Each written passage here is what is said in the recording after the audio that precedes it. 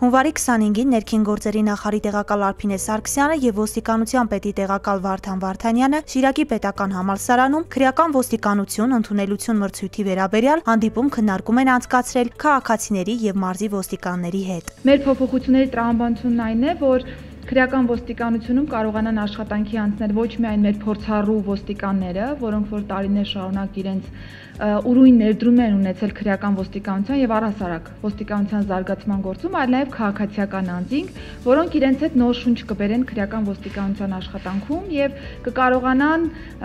այսպես ասեմ, համատեղելով իրենց ունեցած գիտելիքը կամ կենսափորձը մեր գործող ոստիկանների կենսափորձի եւ գիտելիքների հետ եւ փորձեն համատեղ ուժերով լավ ու դրական արդյունքներ գրանցել քրեական ոստիկանության տեսանկյունից։ Փոխնախարարը կարևորել է ներքին գործերի նախարարությունում, մասնավորապես ոստիկանության ոլորտի բարեփոխումների գործընթացում հասարակության բոլոր անդամների ներառականության եւ հասանելիության ապահովումը։ Նա նշել է, որ հանրային անվտանգության ապահովումը բոլորիս պատասխանատվության դաշտում է։ Մի դեպքում քաղաքացիների, որոնք հետևում են օրենքներին, օրինահարկ են, մյուս դեպքում իրավապահների, որոնք ծառայության բերումով են ապահովում հանրային անվտանգությունը։ Արփինե Սարգսյանն իր խոսքում անդրադարձել է նաեւ քրեական ոստիկանության վերափոխման շրջանակում ընդունելության համար սահմանված մրցութային տեղերի 20%-ը կին դիմորդներին հատկացնելուն, որպես օրինակ բերելով բարեկային կարգախմբերում կանանց ներգրավվածության եւ նրանց արդյունավետ ծառայության փորձը։ Ներքին գործերի փոխնախարարը ներկայացրել է ընդունելության կարգի եւ սահմանված չափորոշիչների վերաբերյալ մանրամասներ, անդրադառնալով քաղաքացիների եւ ծառայողների ուսումնական գործընթացի կազմակերպման, սոցիալական երաշխիքներին վերաբերող հարցերին։ Ոստիկանության պետի տեղակալ Վարդան Վարդանյանը ներկայացրել է նոր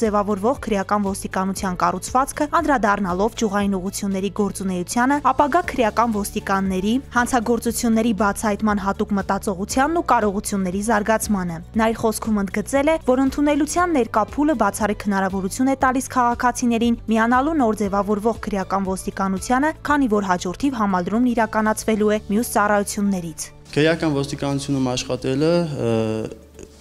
ինքնադրսևորվելու շատ լավ առիթ է, քանի որ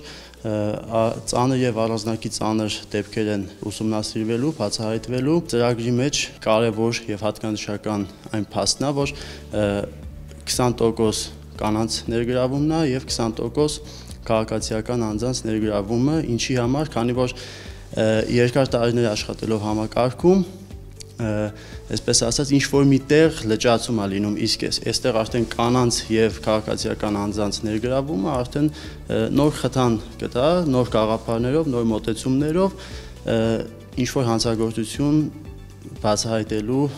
կապակցությամբ։ Հանդիպման ընթացքում քաղաքացիներին հետաքրքրող հարցերը վերաբերում էին ներքին գործերի նախարարության կրթահամալի ներկայացվող փաստաթղթերին, ընդունելության մրցույթի ստուգումներին, նաև վերապատրաստումների անցկացման, ստացած գիտելիքներն ու հմտությունները գործնականում կիրառելու հնարավորություններին։ Ես անձամբ իրավաբանական կրթություն ունեմ ու ինձ թվում է, որ այն մարդիկ, ովքեր իմ նման ունեն իրավաբանական կրթություն, մեծ ուրախությամբ եւ խանդավառությամբ կընդգրկվեն այս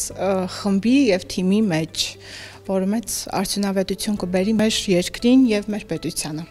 Քրեական ոստիկանության ձևավորման ուղղությամբ իրականացվող բարեփոխումների եւ ընդունելություն մրցույթի շրջանակներում քաղաքացիների եւ ոստիկանների հետ հանդիպում քննարկումներ են անցկացվում նաեւ հանրապետության այլ մարզերում։ Հիշեցնենք, որ քրեական ոստիկանություն ընդունելության համար դիմորդների փաստաթղթերն ընդունվում են ներքին գործերի նախարարության կրթահամալիրում փետրվարի 1-ը ներառյալ։